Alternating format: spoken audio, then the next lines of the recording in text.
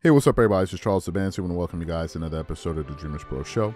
We cover everything from sports, hot topics, classic debates, and entertainment, and we give you guys a fresh perspective on things uh, and how we see it. Now, today we have a pretty serious show for you guys, but before we get into it, please make sure you like the video and subscribe to the channel.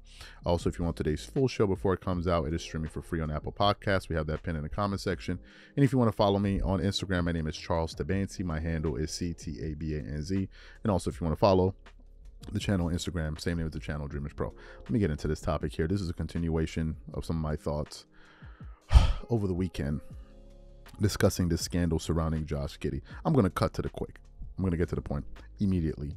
Listen, um, I'm someone that is that that really believes that Malika Andrews has it out. Number one for men, but especially black men. That's what I believe, and a lot of people believe that. Um, and and the most annoying part is that Malika Andrews is a black woman. This is the part that kills me. This is the this is the this is the confounding part of it all.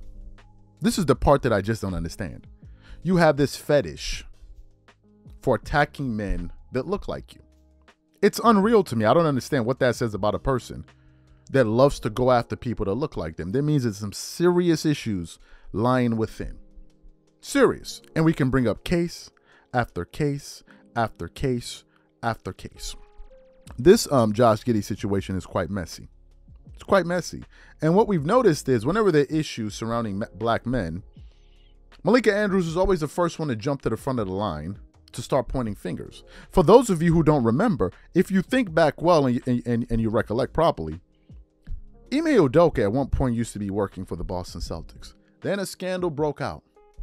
A scandal broke out involving Ime Udoka and a staff member with the Boston Celtics and Malika Andrews jumps on television on Stephen A. Smith's show after she attended a press conference with the Boston Celtics and tried to scold Stephen A. Smith for daring, daring to say that the Boston Celtics could, should have kept that information in house. For those of you who don't remember, I want to play a quick soundbite of Malika Andrews going off on Stephen A. Smith on his own show to the point where he had to stop her and check on her show. Uh, on his show, take a listen to that there. Stephen A with all due respect, this is not about pointing the finger. Stop. What, what became apparent to me in this press conference is that we do not have all of the information here. And it was frustrating to me that the Celtics declined to elaborate or to give more specifics about what exactly the rule breaking was that led us to this point. So, so that I just want to get that out of the way first. But to answer your question, Molly, I think what stood out to me, I, I think what stood out to me is that Brad Stevens, he was upset. That's what stood out to me about what he termed uh, rampant Twitter uh, BS is the word that he used. That women were unfairly dragged into this within the Celtics organization. You could see that Brad Stevens was visibly upset about this. And I also found that to be gross and unnecessary, that folks were bringing in the names and the images of women that is just not a fact, that was purely speculation.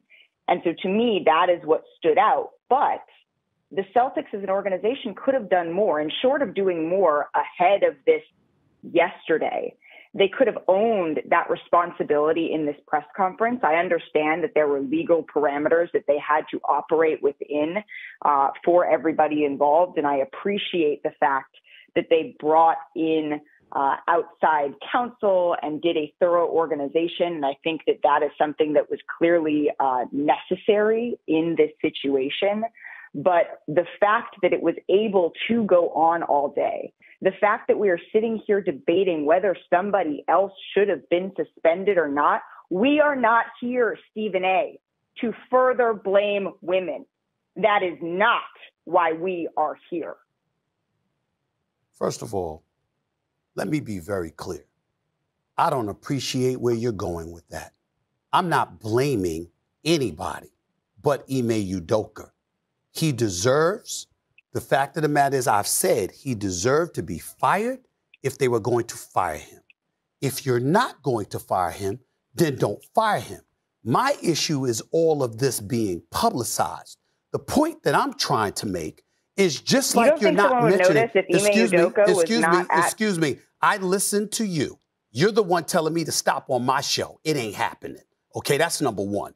Number two, I've already said he deserves to be fired or he deserves what to, to be there and handle it internally and privately. If you're not going to handle it privately, if you're going to publicize it in that fashion, then obviously it provokes everybody wanting to know okay, well, who are the parties involved? When you have Amina Smith in Boston and other women pointing out the fact that there were women who were wrongly implicated in all of this, it's a disservice to them.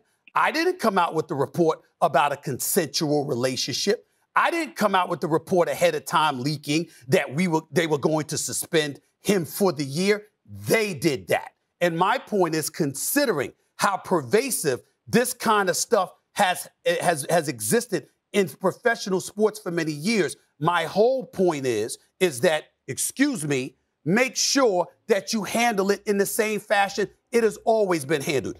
Now, that's just one example of Malika Andrews. Some people don't know the lengths at which Malika Andrews will go. It has nothing to do with even age. Malika Andrews ha- Malika Andrews has no shame.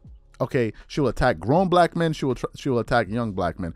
I want to I want to give you guys another scenario of when she tried to bring up some unsavory information about Brandon Miller on NBA draft night, and she was called out for it uh, by the public who said, Why is Malika Andrews doing this? For those of you who don't remember her going after Brandon Miller on draft, and I want to quickly play it for you. It's about a 10 second soundbite.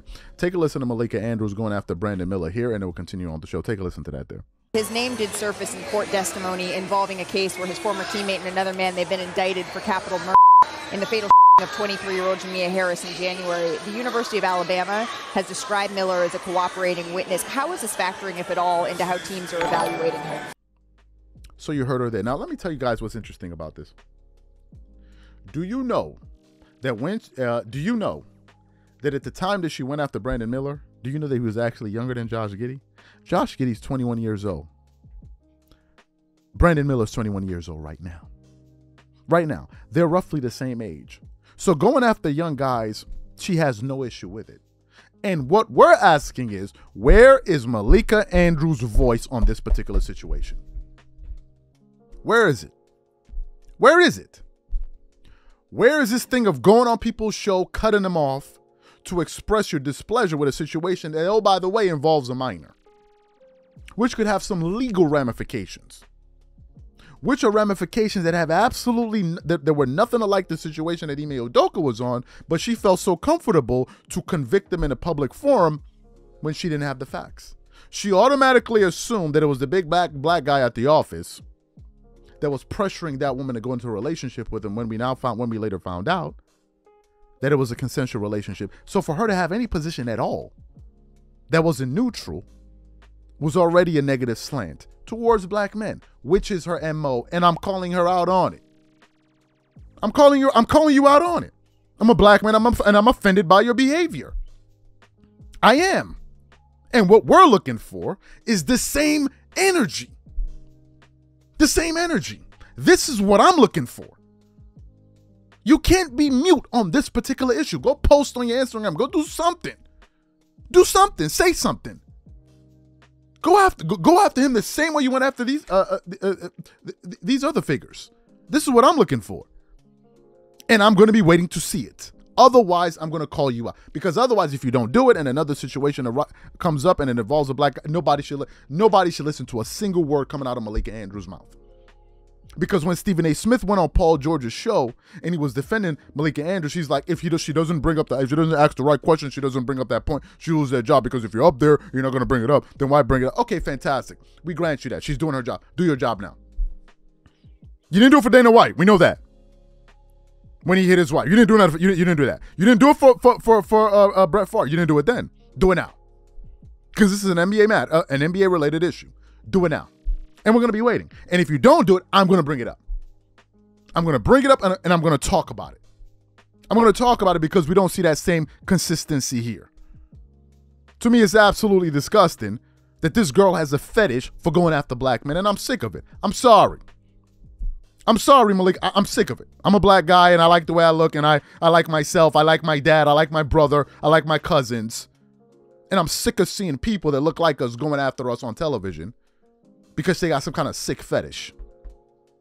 So I'm calling you out on it.